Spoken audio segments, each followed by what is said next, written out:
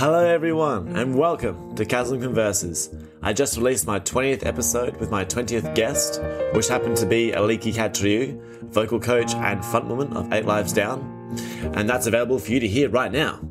But for this episode, I thought I'd do a reflection and a recap on the 20 episodes that I've done so far and share some behind the scenes stories about some of them and also some that were really important to me and some that really reminded me, uh, you know, that I'm doing something that I enjoy.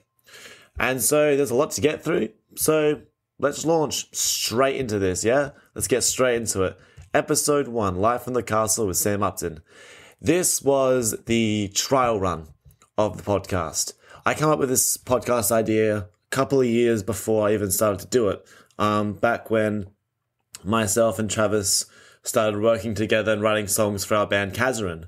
Um, and like many musicians, when you uh, write songs and you release songs, there's always that gap in between releases of you know recording songs and having things ready and it sometimes take a long time until anything's ready to go and there's just a whole lot of time when nothing's going on so i was looking for ideas and ways to fill that gap with extra content. And so I came up with the idea of doing a podcast um, and talking to some people within the Adelaide music scene that I hadn't, um, you know, learnt too much about. I'd worked with them and, and played shows and stuff with them and been on the same bills as their bands and that sort of thing. But I had never really um, gone in depth and asked them about what they did and, and learnt about their musical journeys. And so I thought it would be a great idea to do that at the time we were we only really had just started off and so we thought maybe oh it, could, it could be something that we could do a bit more down the line once we got our first EP out got a few things out a bit and uh, out and ready. And then so when Chasm this solo project came along which um, Sam was very much influential for um, we recorded a song together called Fractured and then we decided to release it under separate aliases. And so that gave me the opportunity to release that song under a name of my own, which happened to be Chasm. And then the podcast idea came back and it sort of, it reiterated to me, hey, now that you've got your own alias, this can be a platform for you to release songs of a kind, different songs that you want to do. It can be an alias, a, a, platform for a lot of different things. And it could be a platform for that podcast that you were thinking about doing, talking to people and, you know, learning about them and finding out about themselves. And so I thought, okay, well, let's just let's do this. And at the time, I had um, just decided that I was going to go to London and go and live there. And so my brain sort of said, well, if you're going to do it, you got to do it now because we're going in a few months. So you've got a little bit of time to to get some episodes going and see if this is actually going to work. So this first episode live at the castle with Sam was that trial run. I called him up and I said, hey man I've got this idea for this podcast. Do you mind if I do the first episode with you, see if it works, and and uh, yeah, just see if this is actually something that I can do with the minimal amount of gear that I have. And of course, he was like, yeah, absolutely. So we got into it, and we did it down. We did it uh, at his house, the castle, downstairs in uh, the practice room where a lot of our practices for paper sunsets and oceans have taken place over the years. So it was really nice to kind of do that there. That room's been the start of quite a few projects and it was the kickoff point to start of this project. So there's a lot of uh, musical history in the Upton household. And it was quite fun because this was a day where there was actually quite a bit of gear around in that room because I think there were some shows and some um, gigs uh, planned.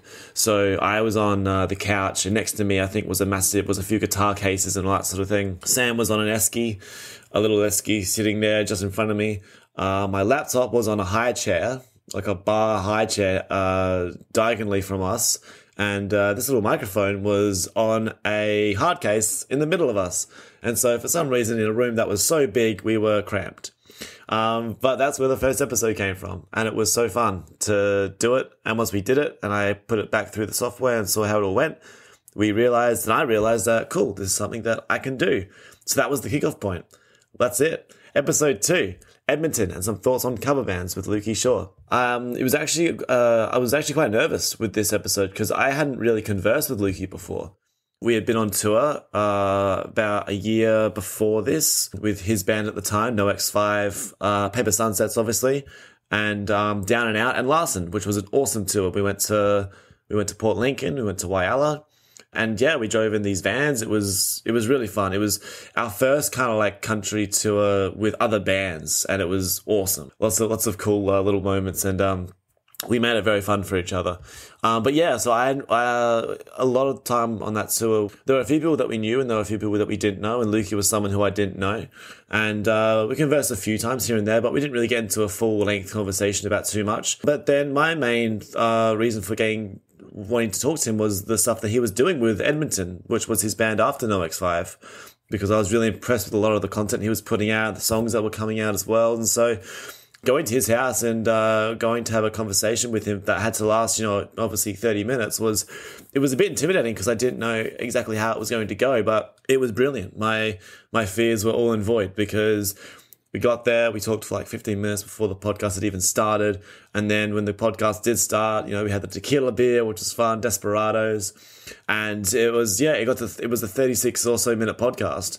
And then after we finished, we went out the back and we talked for like another 25 minutes. So it was just, it was awesome. It was a really great environment and it was a, it was, it really showed me that, you know, if I take an interest in what someone does, then I, I really can, um, you know, talk to them at length about that one thing, even if I don't know the person very well. So that was a really good learning, learning growth for me, myself.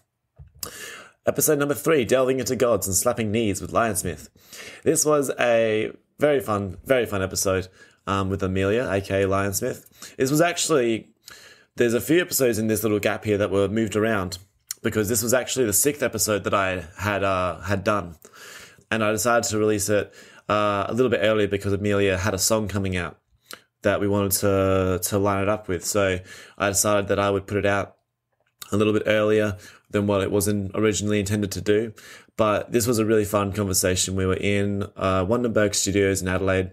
It was on uh, West Everton Road, which is where I used to basically live. I live five minutes away. And we got into a situation where, um, yeah, Amelia would go in and record some of her songs with her engineer, Matt Zapito, who also does, uh, does bass uh, live for Kazran. We had, it was cool because we, we had about uh, maybe two or so sessions where we'd go in, we'd just hang out with her while she did her, while she did her songs and, uh, you know, we'd uh, give her some pointers, we'd tell her if it was good, we'd help her out, and it was it was a really cool, a really fun environment um, to record and to be in that spot with somebody. But that was a really great conversation because that went into all different directions, and um, it was really really fun. Episode four, Lost in Purgatory with Hjalmar, Einar Strange. This was really cool because we went to his uh, work at the time, which was in Untethered, the VR place. And so we actually did the conversation in the big room, hence why it's pretty echoey in this episode. It's a bit echoey. One of the great things about this episode was that after we finished, we actually did some, we actually did some VR. Um, we hooked up to this, to VR system and I'd never done any VR things, like the real, like, you know, when you're, you're standing in the square and you're walking around with all the staff and I'd, I'd never done that. I'd done like, you know, I'd put the headset on at a friend's house and sort of saw the TV and hurt my eyes. But besides that, this was the first time I actually did VR. So that was really cool that we were able to do the VR after we did the podcast, which was, yeah, a lot of fun. Episode five, finishing things with Jack Hartley. This was really cool because this was done in a in a space where I was recording with Jack uh, once a week, every week for about six weeks. It was I was doing a lot. There was basically I did an entire EP for Chasm that is uh, still has which is still in the bank. Um, I was also overseeing drums for Kazran, and then we were also doing Fractured, myself and Sam, and we were also doing another project that I don't think is been announced just yet, but it will be announced in in due time and you will see it in all its glory. But we were also doing that as well. So, in the middle of all these recording dates and stuff, one of the days I decided that I would ask Jack if he wanted to do a podcast because most times before we ever started to record or anything or do anything for the day, we'd always have a conversation to kick the day off. And they always were great conversations and they always went for quite a while. So we thought we'd do we'd turn one into a podcast episode. And this one was one of those conversations. And Jack's a really easy person to talk to. So it made it just that much better. Gaming and music with Hank Pelagimas, episode number six. This is a this is a bit of a fun one because this one is actually this was actually episode 16. So this was actually the last episode that I recorded in Adelaide, but I fast tracked it, uh, fast tracked it for Hank because uh, he recently became a member of a new band called Dearest Helpless, and they had their first single coming out, and so I thought that I would line up this episode with their first single, so it allowed them to have a bit of extra content to put out, and um, uh, reflect on for their first single. So um, that one was fast tracked, but it was a really cool, a really nice episode. And I was a bit, and by that time, 16 episodes in, I was so much more relaxed and comfortable talking to my guests and stuff. And, and that was cool because we were just at his house, literally sitting on the couch. And it was just like we were just reflecting and just going back through his musical journey and how we both kind of influenced each other through our different bands and, and all that sort of thing. And it was like, yeah, it was a really cool, um, a really cool conversation. And the really cool thing is that right now, um, his band, Dearest Helpers, actually has their EP out. So, um, Chapters of Renewal, which only came out maybe about a few weeks ago. So it's so cool reflecting on, you know, this podcast episode and that lined up with his first single. And now they've got a whole EP out. So it's awesome how time can flow and things can come out. Episode 7 Making Friends Through the Lens with Josh McCauley this was a cool episode because we were in Josh's uh, uh, studio where he does all of his photo work and all his video work and and everything like that. And over the over quite a few years, I've been in that studio a lot, quite a lot. Uh, he's taken photos of me for Paper Sunsets, for wrestling, uh, my old my old wrestling persona, Kazarin Crow, um, uh, Kazarin as well, and also Chasm. So I've been in there quite a few times, and the fact that we were able to sit down in that same studio and have a, a podcast episode and a reflection on his musical uh, life and his photo life, as well as the cool times that we've had together, was was really nice and and really it was a it was a really uh, wholesome conversation, which I really enjoyed. Episode number eight: Pro Wrestling and Bands with Robbie Hart. This was awesome because Robbie Hart um, was a big influence to me when I very first started wrestling at Wrestle Rampage because he was a guy covered in tattoos. He was in a band as well as being a wrestler, and that is all that I ever wanted to do with my life was be in a was be in a metal band and be a wrestler. Same as Chris Jericho, band wrestler, and so Robbie was the guy that I looked up to quite a lot because he was doing the things that I also really wanted to do. So to be able to actually sit down with him and talk to him a lot about his his work with bands and his work in wrestling was really awesome. And the fact that we were actually able to do it because we had some issues trying to find a place to do it because I, I wasn't able at the time to do to really um, coordinate podcast episodes from my house because I was living with my parents. Um, and Robbie lives um, in the country, so we were actually able to find a middle ground, and we did it in the Wrestle Rampage dojo in one of the office rooms, which was brilliant. It was great that we were able to do it in in that space where you know the both of us have trained relentlessly over the years um, and you know even performed shows in that very room so um, no, that was an absolutely one. That was a really great podcast. That was a real bucket list tick off the list of someone I wanted to have on the podcast and talk to. So that was wonderful. Episode nine: Bands, Banter, and Loki with Benjamin Batty. This was a really wholesome chat with my friend Ben. We had some uh, vodka Pepsis, I don't really drink, I don't really drink Pepsi, but on this on this day I did. And uh, yeah, we just talked about his band, um, the fact that he's in a band now because there was a time where a lot of us uh, we, are all in a big friendship group together, and uh, a lot of us have been in bands over the years. And Ben sort of was the guy who always wanted to get into a band and had had, had some difficulty in doing it. Um, and now finally he is in a band called Swordfish Trombone, and they're playing heaps of shows and releasing music and stuff. So it's it's wonderful to see that he's he's finally doing it. He's he's doing it. Um, but yeah, we talk a lot about that and about um, achieving his black belt in Taekwondo. And then his cat came into the room and and terrorized the the set a bit. But it's it was a it was a really fun conversation. I enjoyed it. Uh, episode ten, into the music world with Mads Winter. This was uh, so nice. Um, I went to Mads' house. Um, and once we got all the animals out of the room, uh, the bird, for one, it was making lots of noise. Apparently, that bird is massive now. It was only very, very small when I was last there. Um, but no, we had a really cool conversation. Mads has been one of my longest friends since high school. She had her dog Indy by her side the whole time, so um, she made her presence known a few times in the episode. Um, and then we just had some beers, had some wine, had some dinner, and it was just yeah, it was a really relaxing, really nice conversation to have with a friend. And, and that was a really cool episode that I enjoyed. Episode 11, Dropping the Skyhammer with Matt Cepetto. This one we did in Wonderbergs as well. Um, as I said earlier, um, Matt's a sound engineer who worked with um, Lionsmith and also plays bass live for Kazran, also in his own band Skyhammer. And um, yeah, he's uh, it was wonderful because we, we were just in a studio upstairs. So it was just me and him in a studio room. So this is probably one of the best sounding podcast episodes, I think. Um, and yeah, Nat was awesome to talk to. He's got a, a lot of the same interests as myself with the heavy music and the pro wrestling, especially kind of like the, the classic 2000s wrestling and that sort of thing. So we, um, yeah, had just like a really great conversation about all that sort of stuff. And, uh, that sometimes there's no better episode to have than to talk with someone who just knows and has a lot of the same interests as you. So it was, it was really cool. Episode 12, Coffees and Snags, Drums and Video Games with Rory Amoy.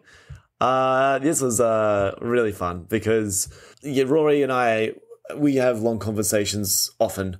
Um, if we, if I ever go to his, if I go to his house, which um, over the last couple of years has been a bit regularly, if it was just to go out to Glenelg for dinner or go do a Wim Hof session or go to the beach or something, we would always start off with just maybe having a beer on the deck or having an Italian coffee as we did as we did on this day. Um, but we'd always always start off with a conversation, and these conversations would go for thirty minutes easily, sometimes even longer. But he's one of these people who is just really good at conversations. Like you can just go into a conversation with Rory, and you just don't know what you don't know what you're going to talk about. You really you really can't pick it, and so having this conversation was great with him because I knew straight up that when I went in there, sometimes with guests, um, I'll have a book well, I'll write down some things, I'll do some research, I'll ask them questions and whatever. With Rory, I didn't have the book because I knew that I didn't need it. I knew that I could just go straight in there, start talking to him about something. And as it does in this episode, it goes for 15 minutes because we just kept going and kept going and kept going and just hit so many different topics. Like, I think we talk about like sausages like adult like Coles sausages for some in in this in this podcast, which makes no sense to me, but it's just sometimes how it rolls. Um, but no, that was it was a brilliant, it was a wonderful conversation. Episode thirteen, the Q and A with Chasm. This was cool. This was just uh, questions and answers um, podcast that I did. I'd been living in London for almost two months at this point, and so yeah, some of the some of you guys just sent me some questions, and I answered them in just uh, in an episode and that was a great that was that was great. Just a bit of a a bit of a reflection on those questions and that sort of thing. But i, I really enjoyed that. Episode 14 creating visual and musical art with falter so after i finished with rory i went straight to do this podcast with falter and it was cool because he actually lives in the same suburb as my parents in aberfoyle park. And i never knew anybody who was into metal into visual art and painting and like you know heavy vocals or anything like that really um, besides probably Lachlan Odell um, who lived in the Aberfoyle Park area. And the fact that Falter lives literally about a five minute walk from my house and I never knew this until recently was just so great to see. I mean, if I would known this years ago, we probably would be absolute best friends. But he's, he's it was a great conversation that I had with him. He's, we've got a lot of the same interests um, with Korn, and a lot of the classic 2000s metalcore, and his project is amazing. That he's got, he's actually got a new video coming out soon for his song No More Tears, which I think they've dropped two teasers for them, and they're really great. So I can't wait um, for that as well. And he's also someone that I would love to work with in the future as well. So that was a really great episode. I definitely would um, would uh, prescribe listening to that episode. And also, he had a really cool chair that I sat in as well that I think he got from Lachlan Odell as well. I don't know if I've asked Lachlan this yet, but I'm gonna have to I'm gonna have to message him after this and ask him. Anyway, episode 15. Beer Boys with Samuel Burns and Michael Tulett, the spinny sock knocker off oh, so many, so many potential names for this episode came out during this episode, during this podcast. This was the first three guest podcast, so I had like my, as in myself and two other guests in the same room talking with the same mic. But it was great because we had um, uh, we were in Sam in one of Sam's rooms. You had the lighting like all changing color, um, and it was just a really nice environment. We actually had one of their beers at the time, but we were trying. I think it was a brown ale or a red ale, but it was a different color. But it was uh, it was still very tasty, but it was uh, in the experimental phase, um, and it was awesome because those two are my some of my best mates. I mean, I'm going back to Adelaide in March for Sam's wedding, so I'll get to see them again, which will be great. It'll be the reunion of the Beer Boys. Um, but it was really great. And one of the really cool things I love about reflecting on this podcast now is that they recently did a new brew. Um, I think it was a New England IPA. And obviously I haven't tried it because I can't try it over here, but it looks amazing. And they have told me that it, it tastes brilliant and it looks just like a beer that you would buy at a shop or at a bar. Like, you know, you just, it looks like a beer that you just get at a bar. And it was so cool because I was like, yes, like, you know, this podcast episode, we had one that was like, it was still experimenting and now, you know, a couple of months later, you've got one which is looking amazing. So it just shows the progression, and I'm so proud of those boys. So this is a really cool episode to listen to. This we actually did a second episode together um, as well. So there may be more to come from the Beer Boys, but uh, we'll see how that goes down the line. Episode 16, Reflecting and Laughing with Tosh Glenn. Um, this was uh, really cool, this conversation, because we did it in Tosh's apartment in the city. And this was actually, um, this was the first time that we had um, seen each other and conversed after the last Paper Sunset show, um, which was, yeah, really cool because it, it, it felt a little bit like uh, as Tosh says in the in the in the podcast, he feels like the the podcast started as soon as I walked in the room, and I completely agree with that because Tosh is one of those people that not only has he been my friend for a very very long time since high school. Um, I've been in a band with him for nine and a half years, but I've also actually lived with him. We've lived together, so we I think we do have a very special bond, which is which is pretty much just like brothers, in my opinion. Um, but we have the awesome conversations. Whenever I have a conversation with Tosh, I feel like I've walked away learning something about him and also about myself. And also I always walk away laughing a lot because he's just a very, a very funny person with a very addictive personality. Um, but I felt like this was this was, there was a lot of paper sunsets in this conversation. I felt like it was a bit of a conclusion conversation because I don't think we really got to have that when we finish show when we used to finish shows we'd always have like a bit of a recap of the show or a bit of a chat about the show i don't really think we kind of got that that night because it was all just such a blur of packing everything away and people coming up to us and and us trying to enjoy our last night but i felt like this was a lot of the, the conclusion convo of um, our work together as as musicians um, and obviously, I would love to do more work with Tosh in the future. But it was it was still a really nice conversation. As I said, it spans it spans about forty minutes, so you know it's good. You know it's a good one. And we got dinner afterwards in Adelaide, so that was really that was really fun as well. Episode number seventeen, becoming versatile with Dash a Day.